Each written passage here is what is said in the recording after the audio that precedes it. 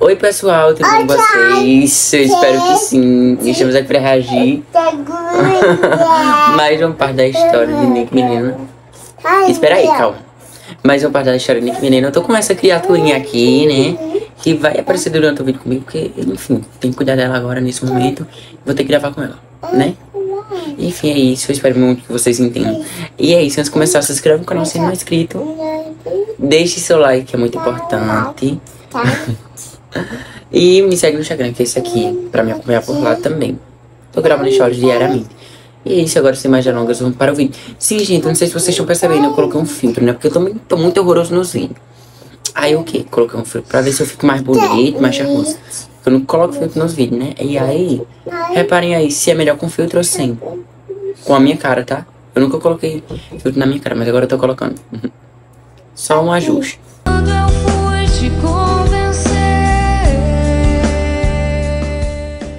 E com o testemunho do gerente e do segurança, ninguém vai acreditar no Nick. Ai, droga. Precisava que o Nick se separasse do chocolate. E logo. Que vergonha, Nick. Armar um flagrante é muito final de feira. É o UOL. Você, que finge que não me conhece na frente dos seus amigos. Não acha que é humilhação, não? Olha aqui, filhote. Eu já fiz muita coisa errada na minha vida. Até ajudei a separar a Dáfilo do Gabriel antes da Bianca nascer. Mas isso não me trouxe nada de bom. Mas também não me ajudou quando eu precisei. Porque eu não vou passar o resto da minha vida ali carregar nas costas. Eu já fui muito mesquinha. Até com a Milena. Só mudei depois que esse anjo, o Cássio, entrou na minha vida. Realmente, Nick. Eu fiquei muito humilhada. E tem mais. Eu desisti. Desistiu? Como? De quê? De você. Continuar nessa loucura. Numa guerra que não vai levar a lugar nenhum. Vou falar com o advogado e propor um acordo de separação. E você vai ter o dinheiro que tanto ambiciona, Nick. Minha filha, eu acho que todo dinheiro pra se livrar de um cão desse é a coisa melhor do mundo, né? É maravilha, né? Porque, tipo assim. Não, minha filha, deixa assim, deixa de coisa. Pra se livrar de uma pessoa que só tá na nossa vida da gente, não deixa a gente em paz, não complementa em nada na nossa vida. Eu dava o dinheiro do mundo, não quero saber. Agora, eu não deveria ter casado, né? Porque aí não ia perder nem dinheiro e nem nada, né? E nem saúde mental, né? Porque também tem que ter muita saúde mental. Eu acho que você tomou a decisão certa, Milena. Eu vou pegar um táxi. Vou pra pensão da minha mãe. Acho que eu tô precisando de colo.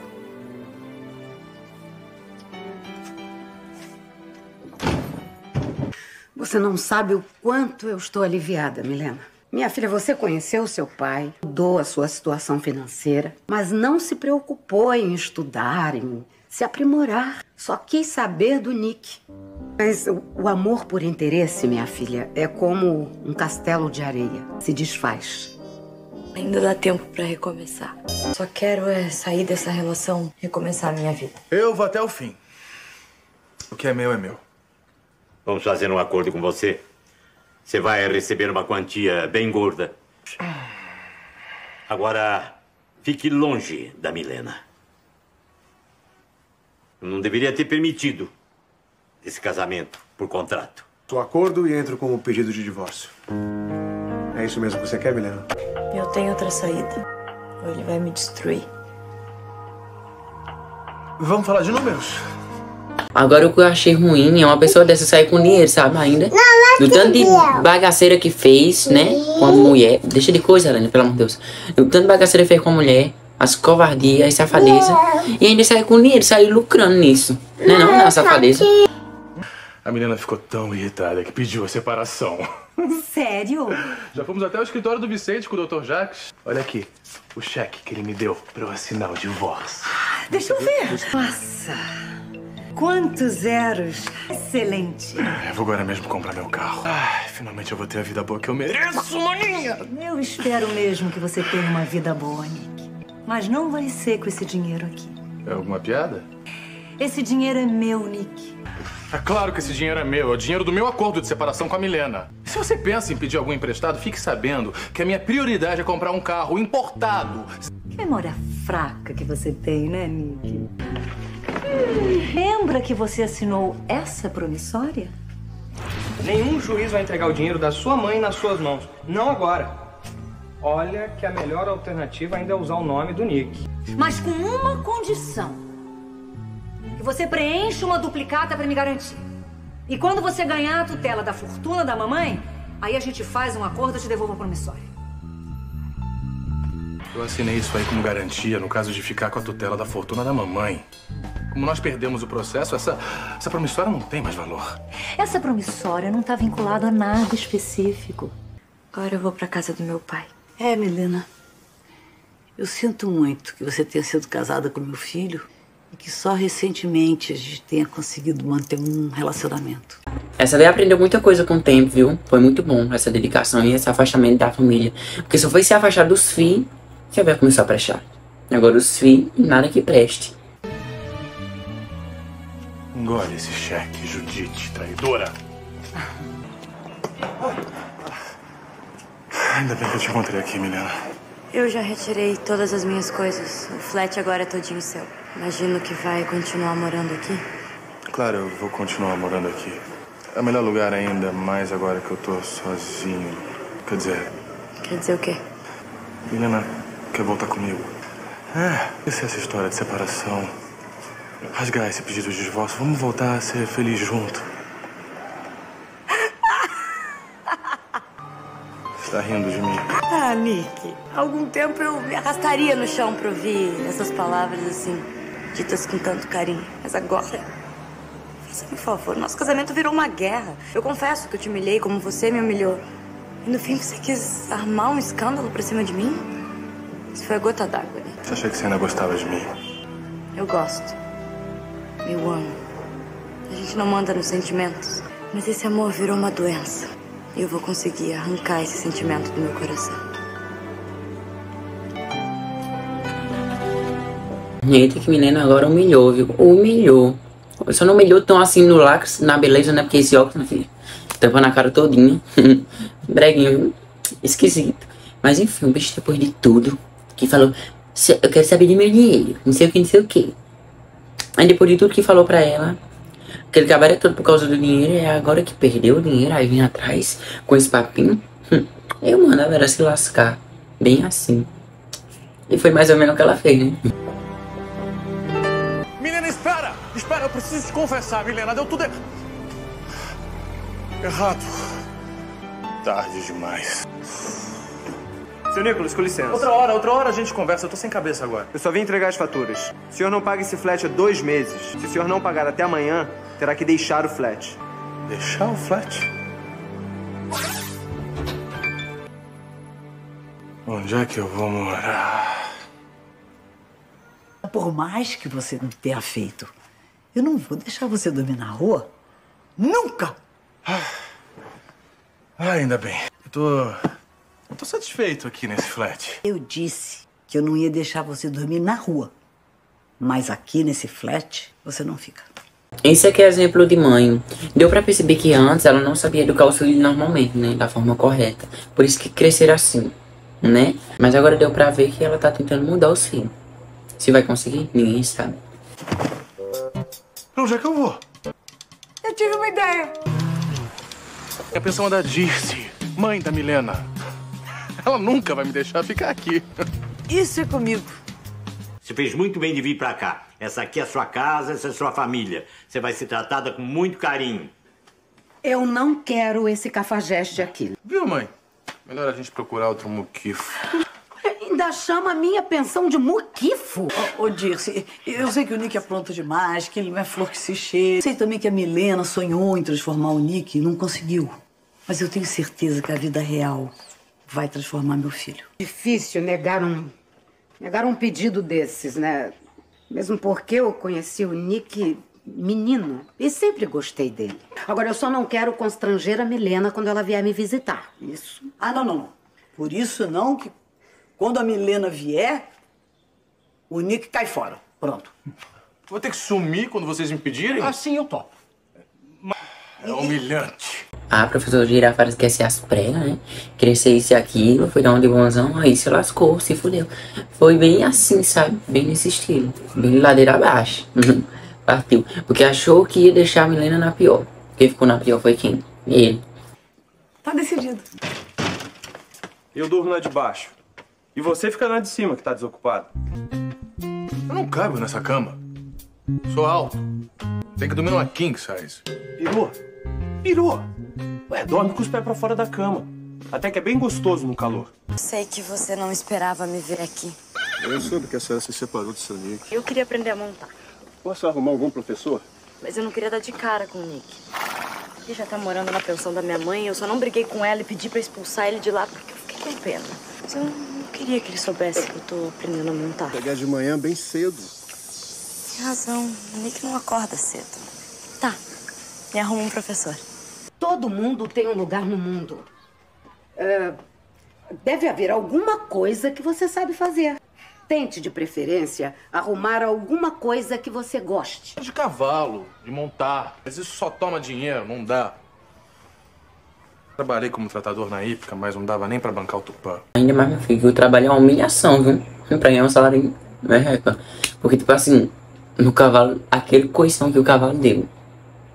Pisava nem mais ali. Não é por causa que o dinheiro é pouco, mas sim por causa da minha vida. A pessoa tem que ter amor à vida, né? Mesmo trabalhando, a Milena pagava uma parte. E na hípica não tem um outro, um outro tipo de serviço? Alguma coisa que você goste? Não sei. Será? Venho todos os dias no primeiro horário. Eu tô aqui pra te ensinar. Você vai adorar os cavalos, pode ter certeza. Bom, te espero amanhã então. Até amanhã. Quero que a empresa seja comandada por alguém de pulso. Eu não quero ficar com a empresa. Ai, é tão bom saber que eu não tenho essa ambição.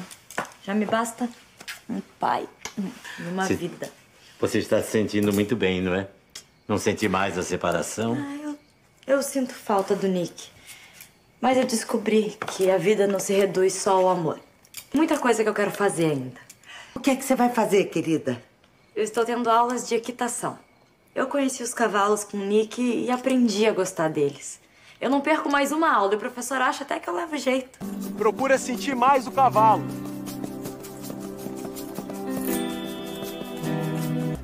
Ai, eu adorei a aula. É tão libertador estar aqui junto com eles, sentindo o vento no rosto. Você tem a postura ótima. Pronto, dava um casal. Tipo. Simplesmente tipo. Porque tipo, dava um casal mesmo, realmente, ó. Melhor do que Nick, né? Mil vezes, né? Deu pra ver assim, ó. Chega dá pra fazer aquelas capas bem capa de casal. Ah, mas também todo macho que aparece eu tô oferecendo Milena, né? Dizendo que dava um casal, dava um casal, dava um casal. Porque eu acho que qualquer bosta é melhor do que Nick. É simplesmente isso que eu quero falar. A sensibilidade incrível, entende todas as necessidades de comando do cavalo. Se você levar a sério, pode até ser uma campeã. Campeã? Não brinca comigo. Mas agora que eu descobri como é bom estar aqui convivendo com eles, eu não vou perder mais nenhuma aula. Preciso ganhar pelo menos pra sustentar o tupã. Mas tem uma coisa que o senhor sabe fazer, seu Nick. Então me diz o que é, porque eu ainda não descobri. Andar a cavalo. O senhor pode dar aulas. Até que é gostar. Em que período? Só pode ser de tarde. As manhãs estão ocupadas. De tarde é melhor ainda. Odeio levantar cedo. É maravilhosa. Vou te contar um segredo. Todas as pessoas que subiram aí, ela deu um jeito de botar no chão. O senhor só me diz isso agora? Fica tranquila. Se ela não gostasse de você, ela não tinha te cheirado, nem você tinha feito carinho como você fez. Aceita treinar na Safira? E dá pra dizer que não? Hein, garota? Hein? Então no final da tarde eu tô aí. Tchau. Boas notícias. Arrumou trabalho, Nick? Eu vou dar aula de equitação. Minha primeira aluna acabou de marcar a aula. Tô sentindo que vai dar certo. Tá combinado. No final da tarde eu tô aí. Tá, obrigada. Peraí, você vai fazer aulas de equitação, é isso? Eu montava quando eu era mais nova, eu quero retomar. Eita, que agora todo mundo quer ser vaqueiro. De nada, todo mundo decidiu a ser vaqueiro agora. Hum. Caixa da inveja esse povo. Não pode ver alguém fazendo algo que quer fazer também. Bem assim. Tudo do nada. Eu não conheço esse professor, mas eu acabei escolhendo pela agenda. Era o único que tinha horário livre.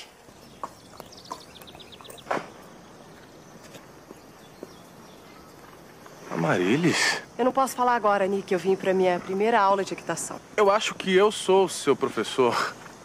Então eu vou agora na secretaria pedir pra marcarem aula com outro professor. Não, Amarilis! Espera, por favor. Tô um tempão sem conseguir emprego, até que eu consegui esse aqui. Você é minha primeira aluna. Vai pegar mal se não quiser aula. Posso nem ter uma segunda chance. É, ver você trabalhando é realmente uma surpresa, Nick. Esquece a nossa relação pessoal. Eu prometo fazer o mesmo. Tem dó dele, dona? Tô numa fase tão boa que pra que me prender a mágoas do passado? Tá bom, Nick. Eu faço aula com você. Firma mais a rédea de fora. Isso, sentiu que ele ficou mais equilibrado? Agora põe ao passo. Cadê que ele humilha essa daí? Essa daí ele humilha. Agora a pobre de Milena. Só falando uma vez, meu Deus. Caiu na pobre. Engraçado. Ele escolheu a panela. Acabando com a vida da pobre. Escolheu uma ah, vindo de empregada, isso, nunca vai conseguir. Enfim, e ela tá aí tentando, né? Tentando dar a volta por cima. Tanta volta por cima que eu espero desde a primeira parte.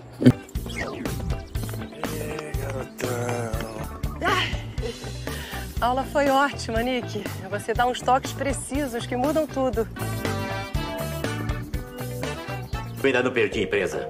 Você moveu um processo contra mim, uma liminar para que eu não toque na empresa.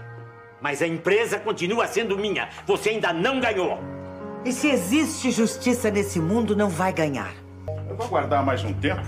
Depois eu vou entrar com um processo de despejo. E quanto a você, Jax, eu vou ter um enorme prazer em jogar você na rua. Calma. Tá sentindo alguma coisa? Meu sonho é ver a Safira campeã. Mas você foi a única pessoa que ela deixou montar. Se eu pagar as suas aulas, você se compromete a montar a Safira nos próximos torneios?